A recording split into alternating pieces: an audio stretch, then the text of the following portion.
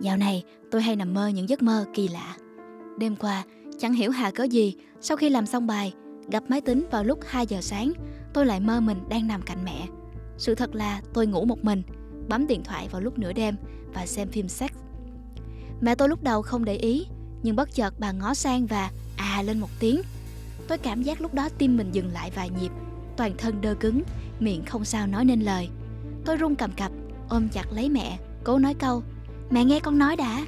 Nhưng không tài nào phát âm nổi, Thi thao cũng không xong. Tôi cảm giác lúc đó miệng tôi như cứng lại, Không thể nói bất cứ điều gì.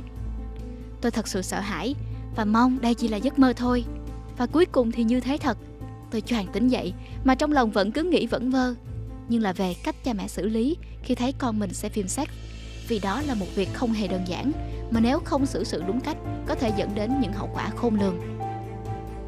Thông qua bài viết của tác giả Anh Trần đã được đăng tải trên website của Spyroom, chúng ta hãy xem nguyên do tại sao mà trẻ dưới 18 lại ham mê sản phẩm người lớn theo góc độ khoa học và nên xử lý ra sao nếu như tình huống trên có xảy ra nhé.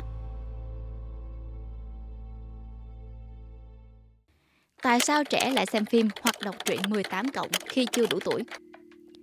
Thông thường, trẻ sẽ làm việc này khi chúng đang trải qua tuổi dậy thì. Tất nhiên vẫn có một số trường hợp cá biệt làm điều này khi chúng nhỏ hơn – nhưng phổ biến nhất vẫn là ở tuổi dậy thì. Tuổi dậy thì là giai đoạn có nhiều biến động nhất trong cuộc đời, khi đó là sự giao thoa giữa hai giai đoạn trẻ con và người lớn. Ở giai đoạn này, nội tiết sinh trưởng và sinh sản phát triển, trẻ cũng lớn nhanh và sự thay đổi rõ rệt trong suy nghĩ. Chúng đã bắt đầu hình thành cái tôi, bắt đầu ý thức rõ ràng được giá trị của bản thân và có thể cảm thấy tổn thương, thậm chí là tức giận nếu ai đó không tôn trọng mình. Đây cũng là lý do ở tuổi dậy thì, khi cha mẹ mắng mỏ thậm tệ, xúc phạm đến danh dự, trẻ sẵn sàng bỏ nhà ra đi, thậm chí là tự ở tuổi này, trẻ cũng bắt đầu ý thức được mình sắp là người lớn, nên mong muốn được trải nghiệm những gì người lớn làm, bắt đầu bằng việc yêu và rung động với bạn khác giới, rồi sau đó là tìm hiểu về chuyện giới tính, quan hệ tình dục. Dưới sự thay đổi của hormone nội tiết, bản năng sinh dục của trẻ lúc này bừng tỉnh và bộc lộ những nét rất đặc trưng. Trẻ có xu hướng xem phim, đọc truyện hay thậm chí là thực hành những chuyện người lớn. Một số trẻ làm điều này chỉ để thỏa mãn sự tò mò nhất thời về những chuyện nhạy cảm đó. Có thể chúng xem trên màn ảnh những cảnh hôn hoặc vô tình nhìn thấy ba mẹ quan hệ tình dục nên cảm thấy bị kích thích, dẫn đến việc mong muốn tìm hiểu và chứng kiến nhiều hơn những việc như thế. Thứ hai, do ở tuổi dậy thì, hormone sinh dục phát triển nên trẻ thường có nhu cầu nhất định về mặt tình dục, đặc biệt là khi tiếp xúc với bạn khác giới. Khi trẻ ở trong một mối quan hệ yêu đương, sự đụng chạm thân thể chính là chất xúc tác hiệu quả cho việc nảy sinh ham muốn tình dục. Điều này không chỉ đúng với trẻ em mà còn đúng với cả người lớn. Không những thế hiện nay, mạng internet phát triển rất mạnh mẽ, bất cứ ai cũng có thể truy cập được nội dung mình mong muốn.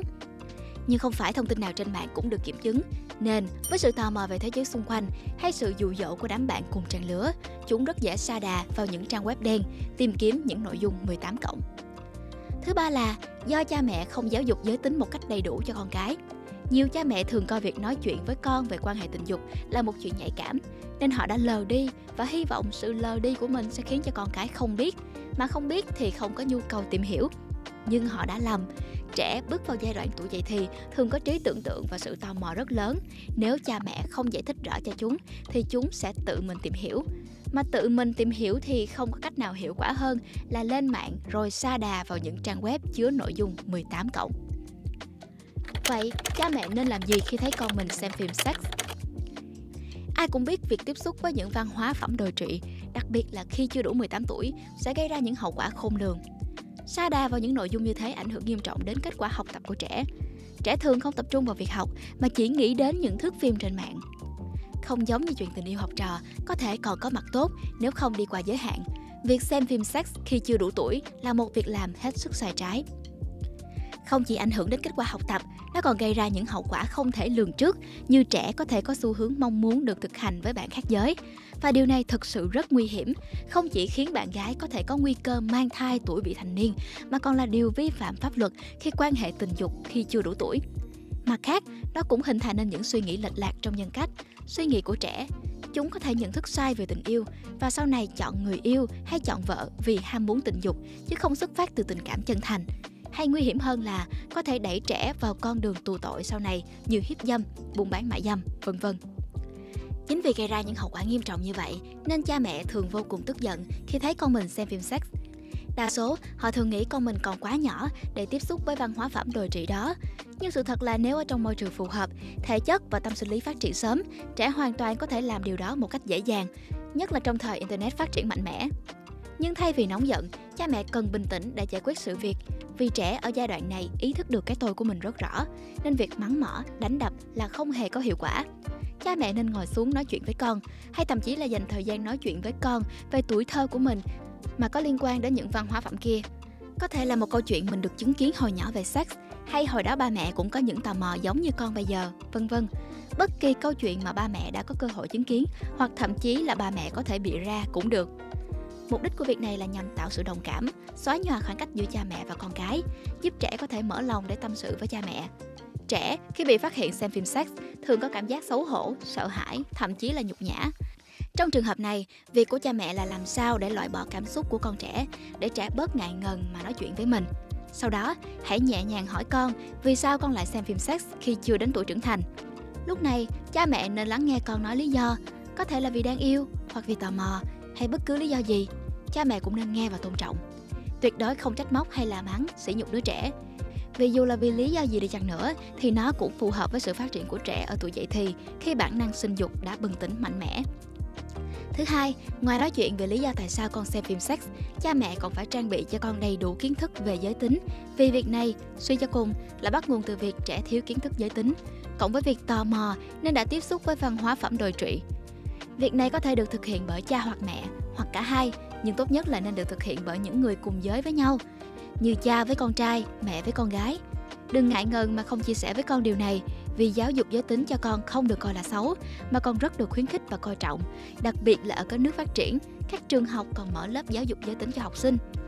Cha mẹ hãy nói cho con nghe về tại sao con lại có ham muốn tình dục, bao giờ là đủ để quan hệ, cách quan hệ tình dục an toàn để không gây mang thai ngoài ý muốn cho bạn gái. Tất cả những điều đó trẻ cần được biết một cách tường tận và rõ ràng. Cha mẹ không nên trả lời qua loa, đại khái, vì nếu không được hiểu một cách đầy đủ và chính xác thì không những trẻ tò mò tìm kiếm nguồn thông tin ở những trang web đen mà nguy hiểm hơn là quan hệ tình dục sớm mà không biết đó là vi phạm pháp luật, khiến cho bạn gái mang thai lại cuốn quýt không biết làm gì, chối bỏ trách nhiệm hoặc thúc ép bạn đi phá thai. Và cuối cùng, đừng quên chốt lại với con về tác hại của việc tiếp xúc với văn hóa phẩm đồi trụy khi chưa đủ tuổi. Sau khi con đã có hiểu biết đầy đủ về giới tính, cha mẹ cần chốt lại vấn đề bằng cách nói cho con nghe những tác hại của việc xem phim, đọc truyện 18 cộng sớm. Đến lúc này, trẻ gần như đồng tình với những gì cha mẹ nói do chúng đã có hiểu biết nhất định về giới tính thông qua những buổi nói chuyện của cha mẹ.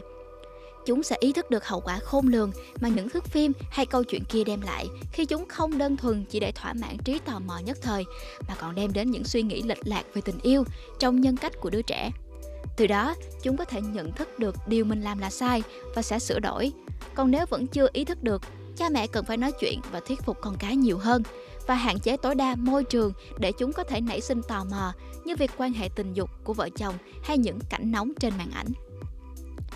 Việc phát hiện con mình xem phim hay đọc truyện 18 cộng khi chưa đủ tuổi và kìm nén cơn tức giận là một điều không hề dễ dàng với cha mẹ, đặc biệt là những ai nghiêm khắc trong việc dạy dỗ con cái họ sẽ coi đó là một việc làm bẩn thỉu và không ngừng trách mắng, sỉ nhục, xúc phạm đến danh dự của con mà không biết nguyên nhân sâu xa là xuất phát từ chính cha mẹ khi chúng ta không cung cấp đủ kiến thức giới tính cho con. Phương châm cốt lõi để giải quyết vấn đề này là bình tĩnh ngồi nói chuyện với con thay vì giận dữ và la mắng. Hãy tạo sự gần gũi với con trẻ, coi con và mình như hai người bạn để có thể thoải mái chia sẻ những suy nghĩ, băn khoăn của mình cho bố mẹ nghe. Từ đó mà bạn có thể đưa ra cách giải quyết và lời khuyên phù hợp để định hướng đúng đắn cho con cái ngay từ những bước đầu tiên của sự giao thoa đầy biến động và phức tạp này. Và đó là những chia sẻ của tác giả. Còn bạn, nếu bạn bắt gặp con cái của mình thì các bạn sẽ làm gì? Hãy chia sẻ với chúng mình trong phần comment nhé. Nếu các bạn thích video này, đừng ngần ngại mà hãy like và subscribe cho Spyroom để tiếp tục đón nhận thêm nhiều nội dung hay sẽ được ra mắt trong tương lai nhé.